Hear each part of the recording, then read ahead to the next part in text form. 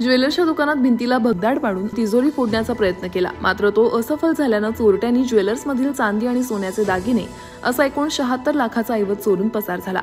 एवढंच नव्हे तर आपला चेहरा सीसीटीव्ही कॅमेऱ्यात कैद होऊ नये म्हणून चोरट्यांनी ज्वेलर्समधील सीसीटीव्ही कॅमेऱ्यातील डीव्हीआर ही चोरलं.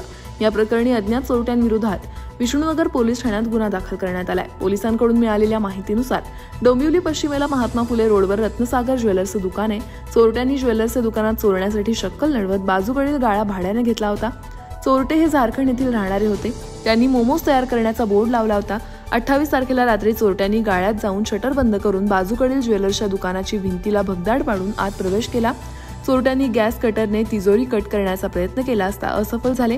चोरट्यांनी ज्वेलर्समधील एकशे दहा किलो चांदी आणि काही प्रमाणात सोन्याचे दागिने चोरून पसार आज का दिन हमारा डोंबिवली ज्वेलर्स के लिए बहुत ख़राब दिन रहा।